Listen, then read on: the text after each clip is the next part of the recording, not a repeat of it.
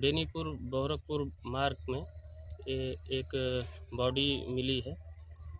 परिजनों द्वारा उनकी शिनाख्त की गई है। तेज बहादुर सनाफ राम आश्रय निवासी भाले सुल्तानपुर मजरे पिंडोरिया थाना अमेठी अंतर्गत। ये एक विद्यालय में स्कूल वैन चलाते थे।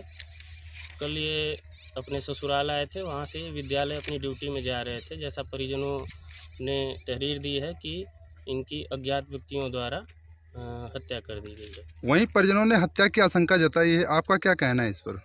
जी परिजनों ने हत्या की आशंका जताई है और इसी संबंध में उन्होंने तहरीर भी दी है। तहरीर के अनुसार संबंधित धाराओं में मुकदमा पंजीकृत किया गया है।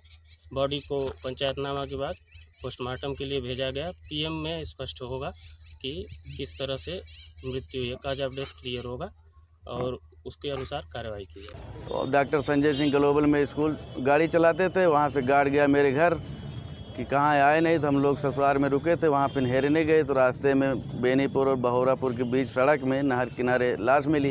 भाई का क्या नाम है आपके? तेज बहादुर। कितनी उम्र रही होगी लगभग? उम्र रहेगी बत्तीस बत्तीस बत्तीस।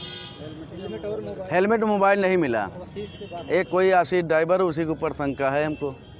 नहीं किस कारण से आप इस शंका कर रहे हैं? मतलब क्या कोई बात अरे वहीं उसी से बात विवाद होता उसी से फ़ोन पे बात होती थी मोबाइल मिलता तो अभी क्लियर हो जाता। घर में भी बताते थे। घर में भी बताते थे उसी से बात विवाद है। तो आशीष ये वाद विवाद कब से चल रहा है उनका? अरे वही लगभग चार छः महीने से।